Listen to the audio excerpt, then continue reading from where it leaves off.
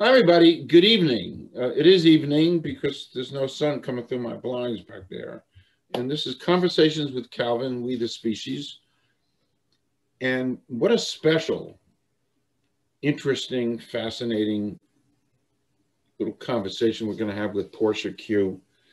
Uh, and, and Portia Cue, uh, and I'm going to let her tell a little bit of the story before we jump into the conversation. But we met where of all places does Calvin meet people? Uh, we met on LinkedIn, and and the thing that stand that stood out so much was the fact that she did voiceover and narration, and and and I know nothing right now, nothing about the world of voiceover. So what a, a propitious opportunity. I looked that word up before we went on air. What a propitious opportunity to learn more about that. So Portia, uh, Portia Cue, please, a little bio, and then we'll kind of jump into a little conversation. All right. Well, first, I want to say thank you, Calvin, for inviting me on with Conversations with Calvin, We the Species. Uh, I started out as a little girl in Baton Rouge, Louisiana. Uh, oh, kidding. Um, I, I got my master's in theater arts and uh, did a film right after I graduated and pursued acting all this time. And uh, then I discovered voiceover. Um, which is a good segue question. So what actually motivated you to, to uh, get into the voiceover industry? I mean, how? As, as an actor, uh, you know, we we kind of navigate to voiceover because it's acting, but with the voice. Uh, but 20 years ago, it was a very closed industry. There was really like a very few voice artists that just had the chunk of all the work. Wow. Uh, so I, an old mate motivated me, and he said, "You should do voiceover." I said, "No, you can't do voiceover. You can't get in there. No, you can't get in there." But then I found out we're in a digital age now, and voiceover is available to those who want to do it. Why do you particularly enjoy um, providing voiceover service? You know, it, and I think about this often. It's because I am actually using my personality, my vocal folds, my breath to, um, uh, while being creatively free, to use my voice as a service and a product. So that's what's so magical about it, kind of the personality that is not seen. So it's a beautiful thing, and it's really a great honor for me to be able to to to be a voice artist. I'm guessing there's a a ton of voiceover performers out there. What makes your voice stand out? And you know, that's the thing. When you're a voice artist, you have to make sure you find out what's special about your voice because there's so many of us out there and it's a really great community. Yet I really hesitate to tell you what's unique about my voice because I say that's someone else's job, right? But what I do realize is that uh, my voice crosses demographics. So if I can be very urban, uh, they and we we kind of I can do urban, I can do suburban, I can do a baby animation, and authentically so. Uh, so I feel lucky that my I am able to do to really cross demographics. That's very important when you're selling products. This what we're doing now becomes kind of a tutorial for the for the legions of young students uh, out there who we reach. Uh, so this becomes a whole like a career uh, exploration of, of the world of voiceover for people who've never even and I hope to reach that that kind of audience. Um, but what are some of the challenges um, that that you face uh, doing voiceover?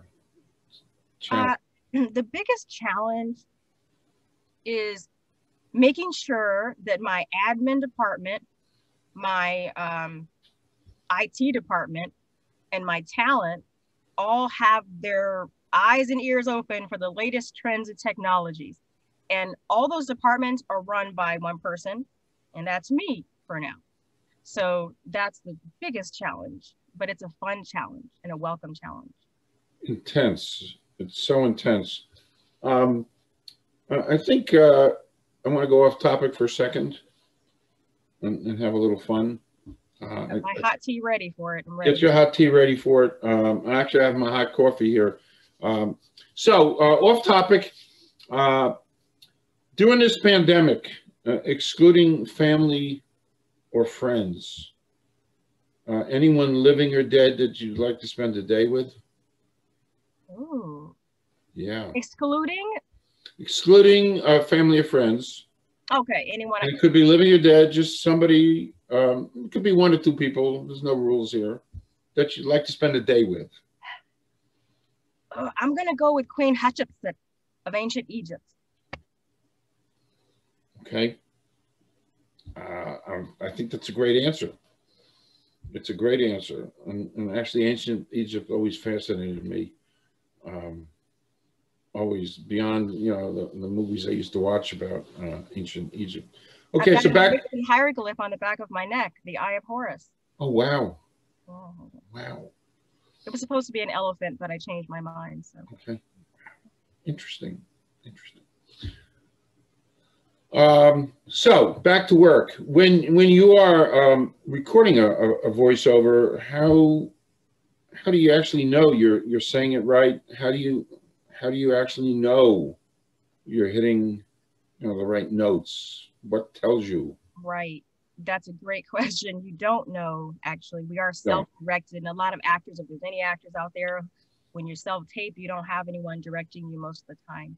Uh, but there is an alternative. Uh, you can, for my, I offer my clients Skype or Zoom or what also something known as Source Connect so that you can actually direct me and whomever your voice talent is remotely.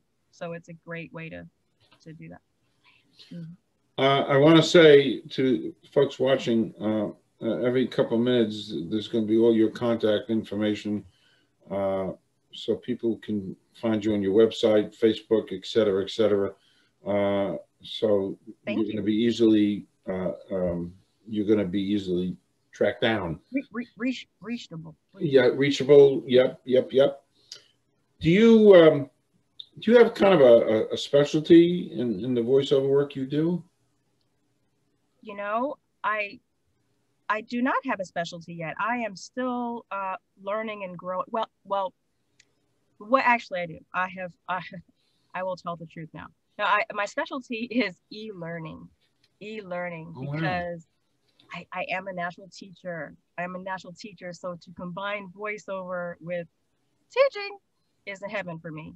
Uh, but I, yeah, so, but I do a lot of IVR and phone messaging. And for interested voiceover people, there are some mm. voice artists who make a living just doing a lot of phone messaging for companies.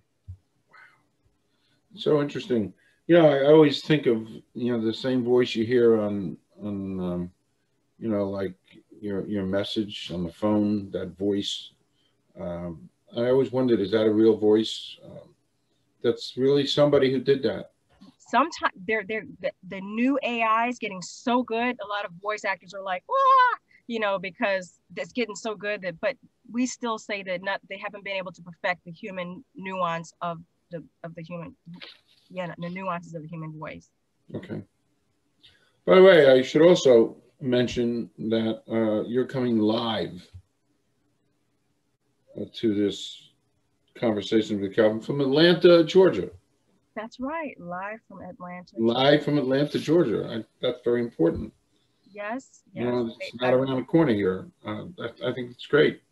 Um, so I, I, can see, and I know you, you work out of a, uh, home office studio. Do you prefer being uh, at home or being like on location? Um, you know what? Uh, wow. When you go into a professional audio studio, it is like heavenly because you just walk in there and the audio is set, the microphone's positioned, everything's perfect.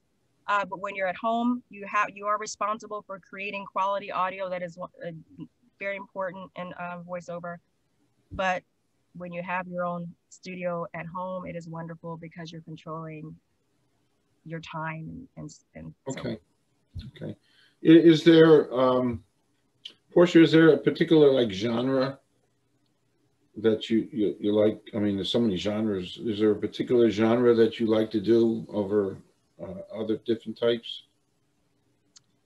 Uh, you know, I would like to, and I do animation. I have done quite a bit of animation, some video games, uh, that wow. as well. I've played some Aliens so far. It's lots wow. of fun.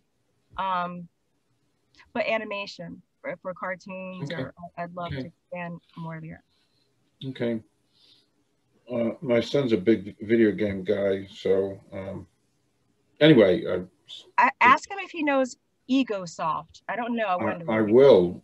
I absolutely will ask him that sooner than later.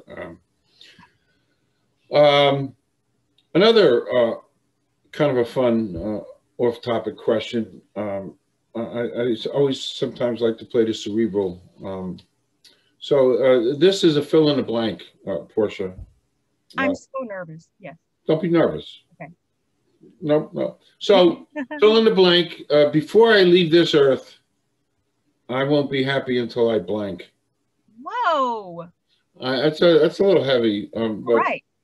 Before I leave this earth, I won't be happy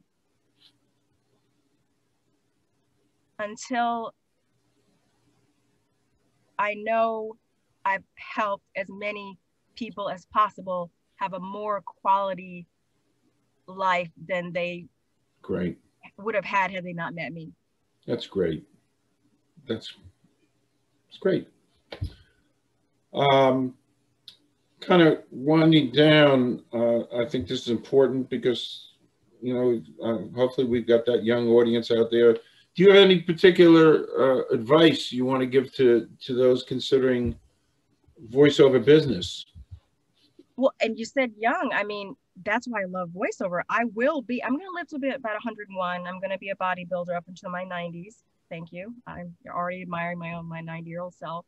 Uh, but voiceover can be done forever if you know. If you keep your vocal folds healthy.